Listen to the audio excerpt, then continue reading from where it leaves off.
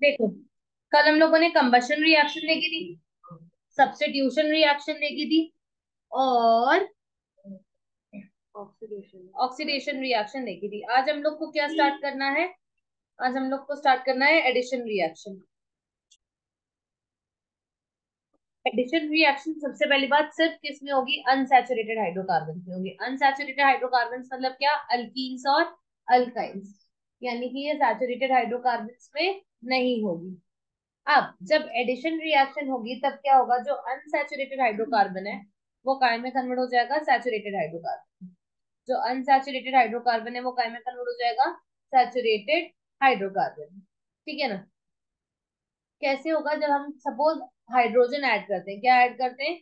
Hydrogen तो अगर हम लोग हाइड्रोजन ऐड करेंगे अनसैचुरेटेड हाइड्रोकार्बन में किसकी प्रेजेंस में? निकल प्लैटिनम और पैलेडियम किसकी प्रेजेंस में?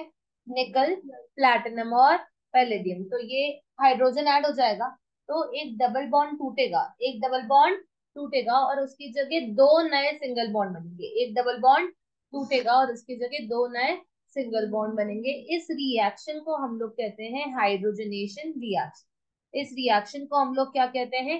हाइड्रोजनेशन रिएक्शन ठीक है ना? कैसे होती है रिएक्शन ध्यान से देखो।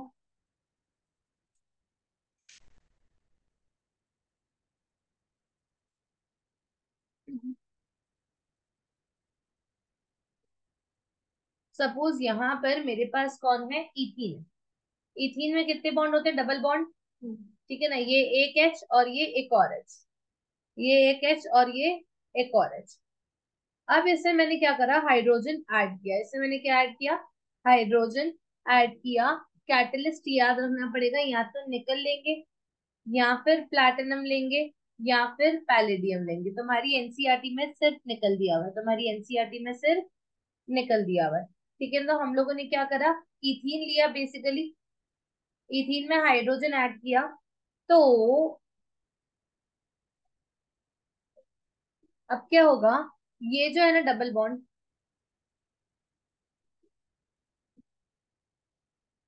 ये वाला जो डबल बॉन्ड है ना, ये डबल बॉन्ड ब्रेक हो जाएगा और इसकी जगह एक सिंगल बॉन्ड यहाँ बनेगा और एक सिंगल बॉन्ड यहाँ बनेगा। कुछ इस तरीके से।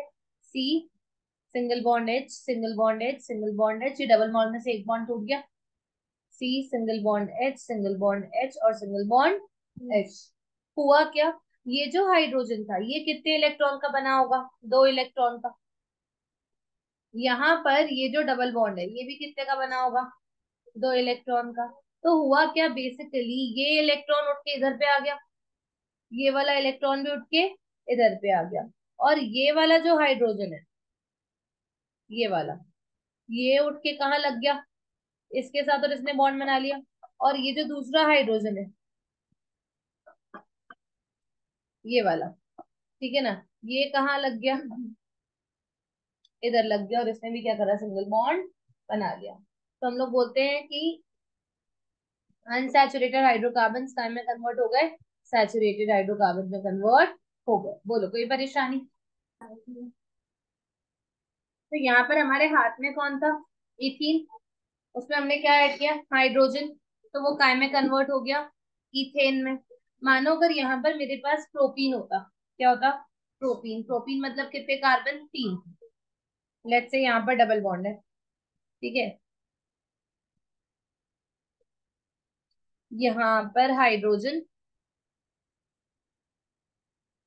यहाँ पर हाइड्रोजन ठीक है, यहाँ पर हाइड्रोजन और यहाँ पर तीन हाइड्रोजन ठीक है ना? ये क्या बना मेरे पास? प्रोटीन है। ठीक है ना? अब जब इसमें मैं हाइड्रोजन ऐड करूँगी तो हाइड्रोजन और हाइड्रोजन के बीच में क्या होंगे? दो इलेक्ट्रॉन्स ठीक है यहाँ पर भी क्या होंगे? दो इलेक्ट्रॉन एक इलेक्ट्रॉन उठ के यहाँ आ जाएगा, एक इलेक्ट्रॉन उठ के यहाँ आ जाएगा। ठीक है तो ये क्या बन जाएगा? ये बन जाएगा सी एच थ्री सी ये तो एच था ही यहाँ, और ऊपर क्या लग जाएगा? एक और एच यहाँ पे सिंगल बॉन्ड सी ये एच लग जाएगा और यहाँ पे एच था ही और यहाँ पर एक और एच लग जाएगा। तो ये जो प्रोटीन है, ये प्रोटीन काय में कन्वर्ट हो जाएगा? ये प्रोटीन कन्वर्ट हो जाएगा प्रोपेन में। इस रिएक्शन के लिए मुझे कौन से कैटलिस्ट की ज़रूरत पड़ेगी? निकल इस रिएक्शन के लिए मुझे कौन से कैटलिस्ट की ज़रूरत पड़ेगी? निकल आई बात समझ में? क्या रिएक्शन क्लियर है? अब जब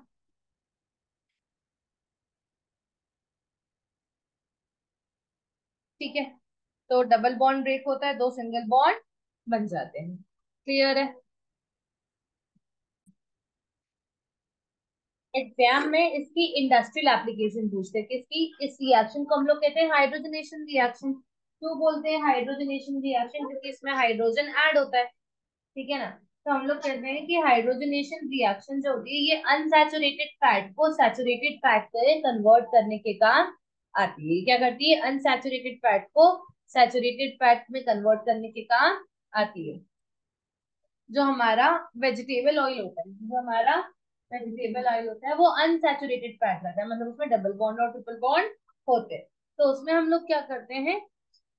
वो अनसेचुरेटेड रहता है इसलिए हमारी हेल्थ के लिए अच्छा नहीं होता है। ठीक है ना? इसलिए हम लोग क्या करते हैं, उस वेजिटेबल ऑयल को वेजिटेबल घी में कन्वर्ट करते हैं। वेजिटेबल ऑयल को काय में कन्वर्ट करते हैं वेजिटेबल घी में तो वो काय में कन्वर्ट हो जाता है सेचुरेटेड फैट में काय में कन्वर्ट हो जाता है, ठीक है? और ये जो सेचुरेटेड फैट रहता है, ये क्या रहता है? गुड फॉर हेल्थ रहता है। आई बात समझ में? ठीक है, जो एनिमल फैट रहता है, वो क्या रहता है? सेचुरेटेड फैट होता है, लेकिन हम लोग बोलते हैं animal fat good for health नहीं होता है। हम लोग क्या कहते हैं? एनिमल फैट जो रहता है वो गुड फॉर हेल्थ नहीं होता है। इसलिए हम लोग वेजिटेबल ऑयल को काय में कन्वर्ट करते हैं। वेजिटेबल फैट में कन्वर्ट करते हैं using hydrogenation reaction is that clear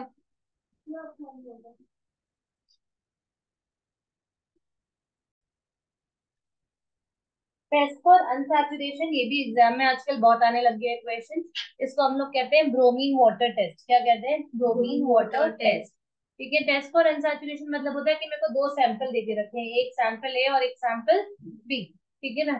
और मुझे पता करना है कि इसमें से किसमें अल्केन है और किसमें अल्कीन है। तो जहाँ पर अल्कीन होगा, है ना? तो हम लोग दोनों टेस्ट ट्यूब में क्या करेंगे? ब्रोमीन वाटर डालेंगे। दोनों टेस्ट ट्यूब में क्या डालेंगे? ब्रोमीन वाटर डालेंगे।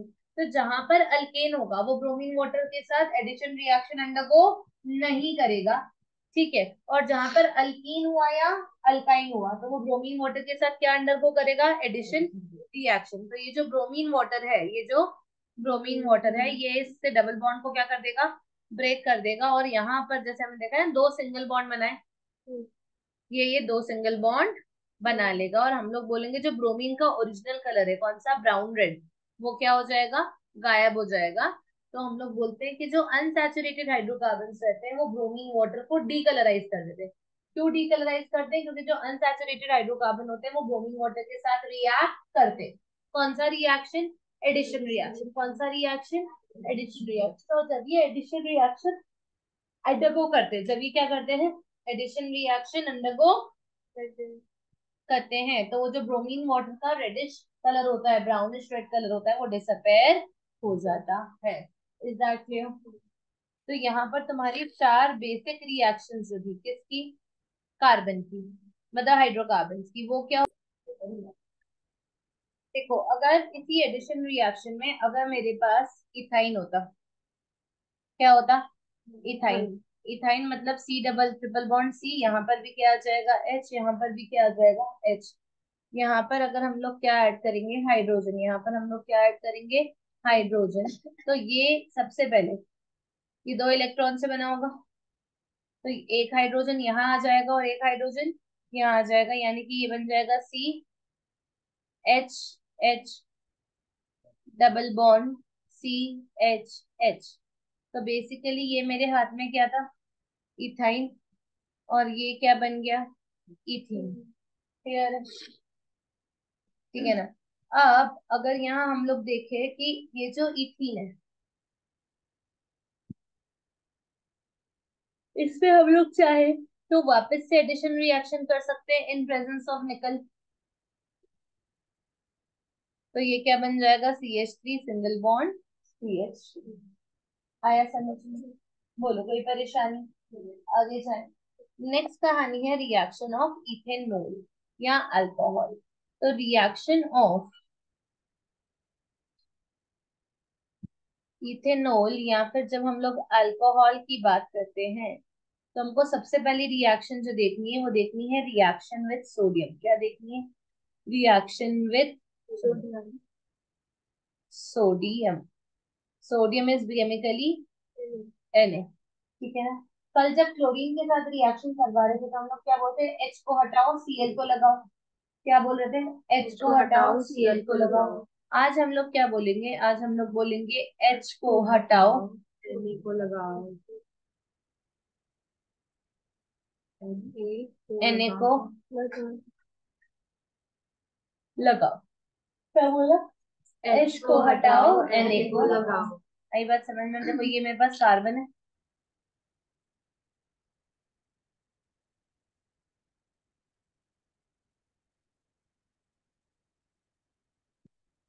इथेनॉल की रिएक्शन है। तो ओल के लिए हम लोगों ने क्या लिख दिया? ओ एच और इथेन के लिए कितने कार्बन चाहिए थे? दो। तो ये क्या बन गया? इथेनॉल। इथेनॉल को हमने किससे रिएक्ट करवाया? Na से। H को हटाओ Na को लगाओ। फिर हो जाएगा C H three C H two O H की जगह क्या आ जाएगा? Na प्लस साथ में क्या रिलीज़ हो जाएगी? हाइड्रोजन गैस ठीक है तो इसको बैलेंस करने जाओगे तो इधर पे इसके दो एटम आ जाएँगे इसके दो और इसके दो। अब मिष्टी ने बोला दीदी इसकी जगह अगर प्रोपेनोल होती तो? तो मैंने कहा चाहे प्रोपेनोल हो चाहे ब्यूटेनोल हो तुमको तो क्या करना है? एच को हटाना है और एनए को लगाना है। प्रोपेनोल क्या होती है? C H three C H two C H two O H plus क्या करना है? एन ए तो यहाँ पर क्या बन जाएगा? और क्या यहाँ पे बन जाएगा? C H three C H two C H two O N A plus H two इधर सी एच थ्री आना चाहिए ना नहीं चार बॉन्ड बन गए कार्बन ठीक है बोलो कोई परेशानी? अब इसको बोलते हैं सोडियम इथॉक्साइड क्या कहते हैं? सोडियम इथॉक्साइड और इसको कहते हैं सोडियम पेंटॉक्साइड। क्या कहते हैं सोडियम? पेंटॉक्साइड। नहीं सॉरी प्रोपेन है ना? प्रोपेन ऑक्साइड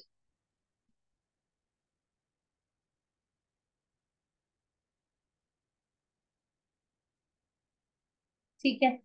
एक बार इसको देखो कोई परेशानी है तो पूछो वरना नेक्स्ट रिएक्शन स्टार्ट बहुत इंपॉर्टेंट है। Reaction with concentrated H2SO4 जिसको हम लोग सल्फ्यूरिक एसिड कहते हैं। ठीक है ना? एग्ज़ाम पॉइंट ऑफ़ व्यू से भी इंपॉर्टेंट है। इस रिएक्शन का दूसरा नाम होता है डिहाइड्रेशन रिएक्शन ठीक है? तीसरा होता है reaction to give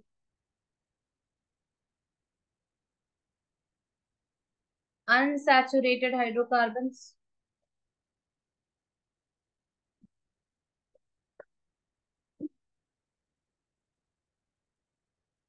ठीक है ना? या फिर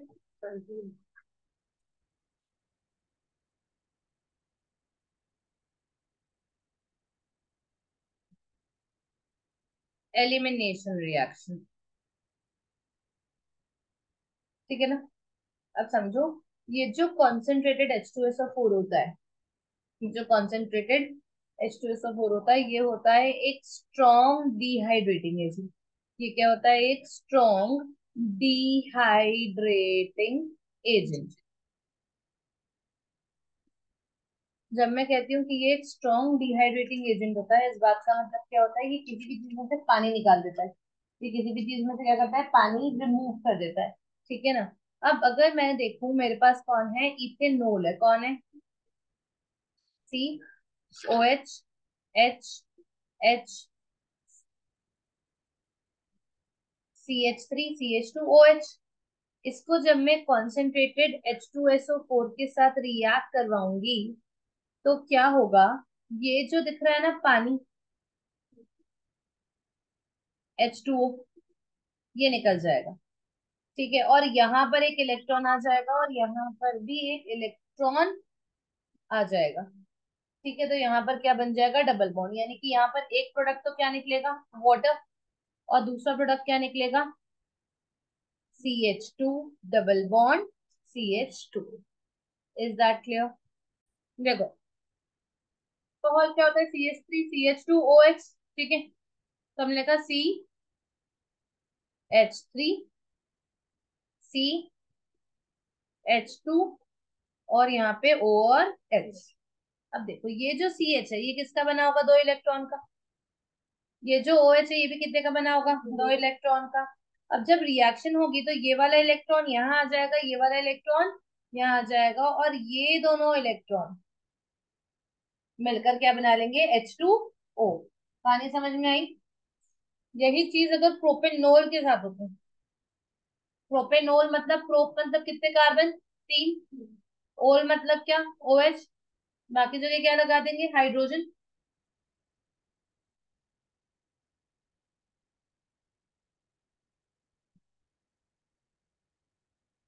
ठीक है। इसमें क्या ऐड किया?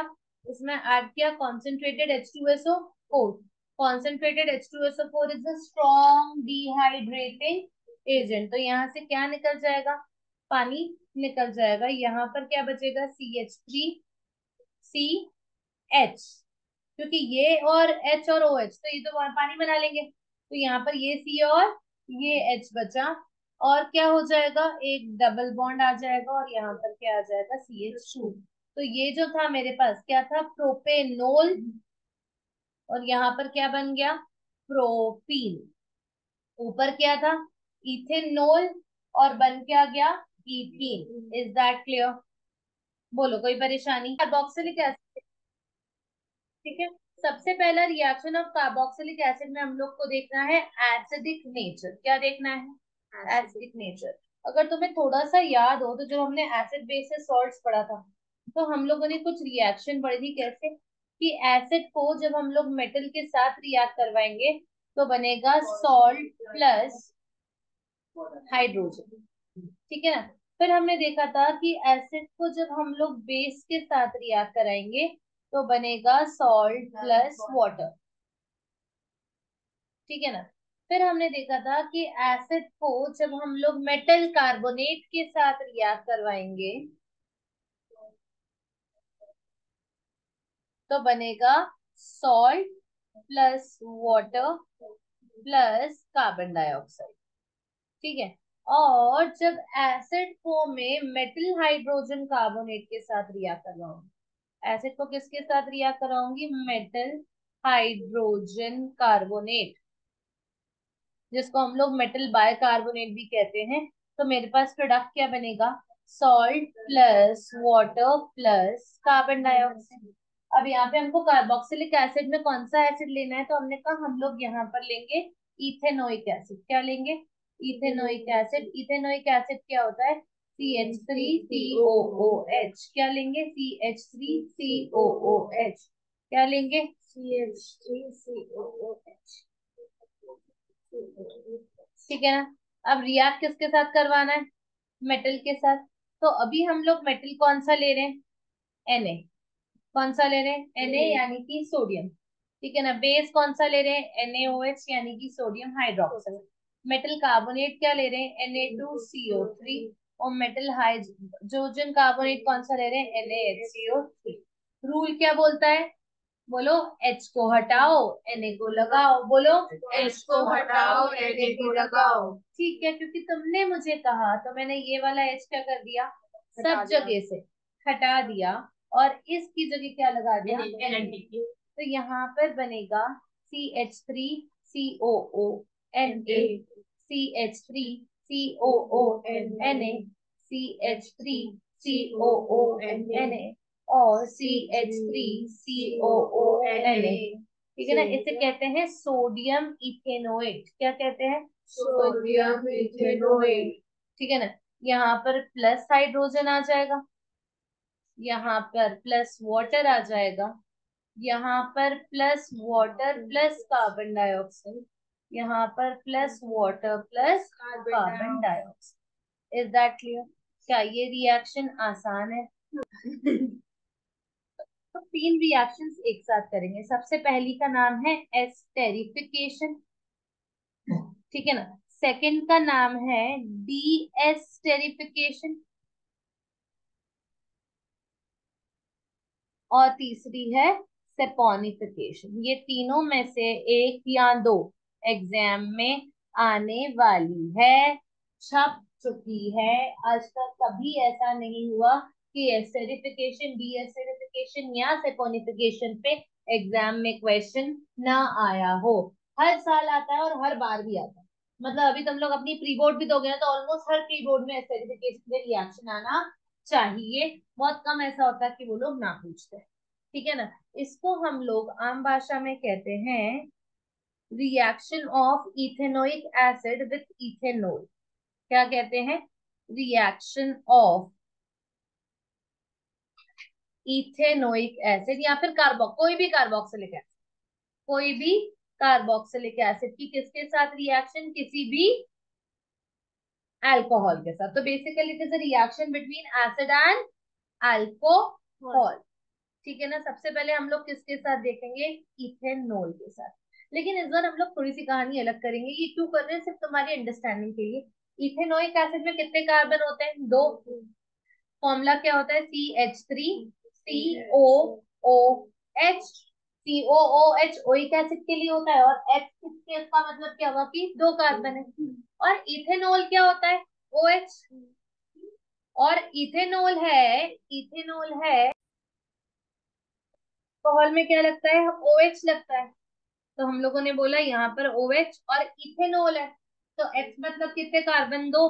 तो हमने लिख दिया C H three C H two O H बस इसको उल्टा लिखा। तुम चाहो तो सीधा भी लिख सकते हो। मैं उल्टा क्यों लिखवा रही हूँ? ताकि तुम्हें ये कहानी आसान लगे। ये रिएक्शन होती है in presence of concentrated H two S O four अब concentrated H two S O four क्या होता है? It is a strong dehydrating agent now because because it is a strong dehydrating agent ये क्या करेगा? किसी भी चीज़ में से पानी निकाल देगा। तो पानी निकाल दे। देखो, ये रहा H और ये रहा OH तो क्या पानी निकल गया? हाँ पानी निकल गया। कैसे निकल गया? H2O और जो बाकी बचा था वो हम एज इट इज़ लिख देंगे क्या? C H three C double bond O single bond O C H two C H three आ रही है कहानी समझ में? सी एच थ्री ये सी डबल बॉन्ड ओ ये सी सिंगल बॉन्ड ओ ये। इधर से एच और ओ एच तो गायब हो गया क्योंकि एच और ओ एच ने मिलकर क्या बना लिया? एच टू ओ बाकी क्या बचा था? C H two C H three C H two C H three तो एच टू ओ बाहर निकाल के बाकी जो भी था एज इट इज़ लिख दिया। आया समझ में? इस चीज़ को हम लोग कहते हैं इथाइल इथेनोएट, क्या कहते हैं? इथाइल इथाइल किसके लिए? इसके लिए, ये है इथाइल। और जो ये वाला पार्ट है, ये कहाँ से निकला? इथेनोइक एसिड में से निकला तो इसको नाम देंगे इथाइल इथेनोएट। आया समझ में? अगर मिथेनोइक एसिड से बनता तो क्या होता? मीथेनोएट प्रोपेनोइक एसिड होता तो प्रोपेनोएट आ रही है बात समझ में? ठीक है। तो हम लोगों ने कुछ भी नहीं करा। यहाँ पर एसिड लिया, यहाँ पर अल्कोहल लिया concentrated H two S O four लिया, यहाँ से एच निकाला और यहाँ से ओ एच निकाला। ठीक है? एच ओ एच निकाल के एच टू ओ साइड में लिख दिया, बाकी जो भी बचा था वो एज सामने लिख दिया। इस चीज़ को हम लोग क्या कहते हैं? एस्टर क्या कहते हैं? और क्योंकि इस रिएक्शन में एस्टर्स बनते हैं, इसलिए इस रिएक्शन को हम लोग क्या कहते हैं? एस्टेरिफिकेशन रिएक्शन क्या कहते हैं? एस्टेरिफिकेशन रिएक्शन क्लियर है? कहानी सिंपल है। ठीक है। अगर मानो यहाँ पर मैं मीथेनोइक एसिड लू कि मीथेनॉल लू जैसा तुम बोलो। मीथेनॉल अगर मैंने मिथेनोइक एसिड लिया तो वो क्या हो जाएगा? H C O O H इसको साथ में अल्कोहल से लिया करो इथेनॉल से। तो यहाँ पर हम लोगों ने क्या ले लिया? O H C H two C H three किसकी प्रेजेंस में होगी reaction concentrated H two S O four की प्रेजेंस में होगी। तो अब प्रोडक्ट क्या बनेगा?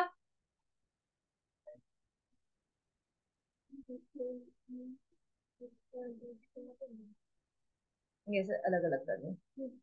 ठीक है अब सुनो यहाँ से H जाएगा और यहाँ से OH जाएगा। ठीक है ना? तो यहाँ पर H2O निकल कर आ जाएगा। यहाँ पर क्या बचा? H C double bond O single bond O और इधर क्या बचा? C H two C H three क्योंकि ये C H two C H three है तो इसे क्या कहेंगे? इथाइल, और ये एक ही कार्बन है तो इधर पे क्या लिखेंगे? मीथेनोएट। क्या कहानी समझ में आई? बोलो, कोई परेशानी?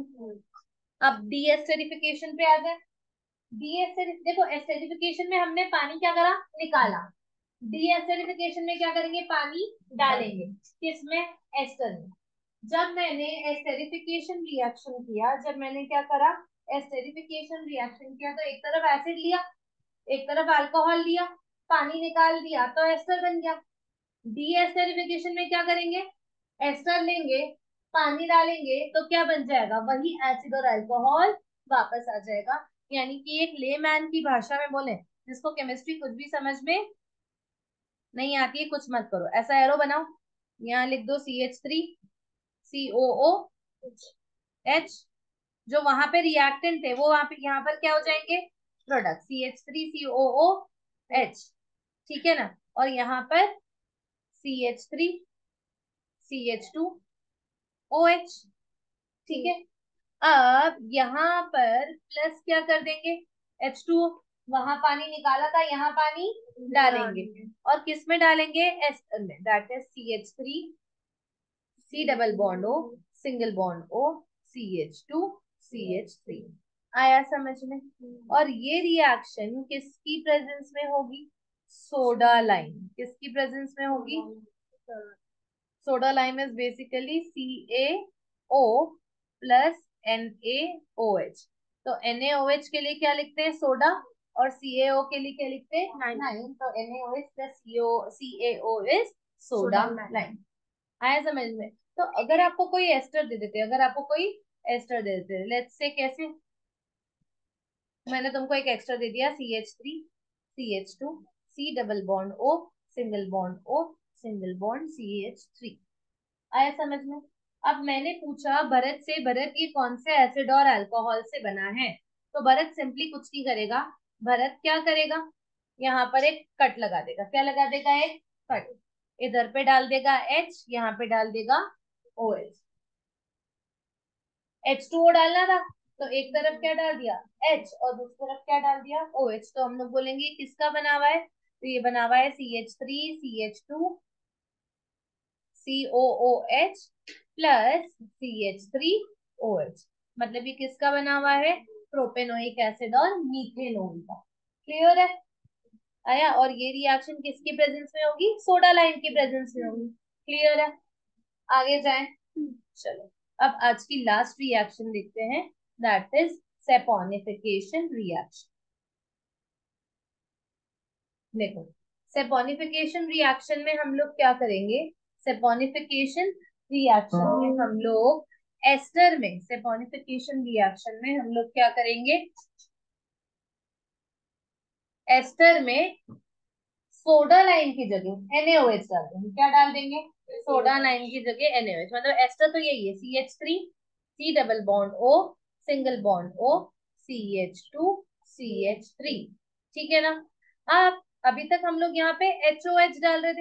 हम्म। पानी मतलब एच ओ एच अब सिंपली एच ओ एच की जगह क्या डाल देंगे? चलो पहले एच ओ एच से कर सकते हैं। एच ओ एच डाला एच ओ एच मतलब क्या? पानी। जब पानी डालेंगे तब क्या होगा? इसको यहाँ से तोड़ देंगे। यहाँ पर आ जाएगा एच और यहाँ पर क्या आ जाएगा? ओ एच यही होगा। यानी कि जो मेरे प्रोडक्ट बनेंगे वो क्या होंगे? C H three C double bond O single bond O single bond H plus यहाँ पर आ जाएगा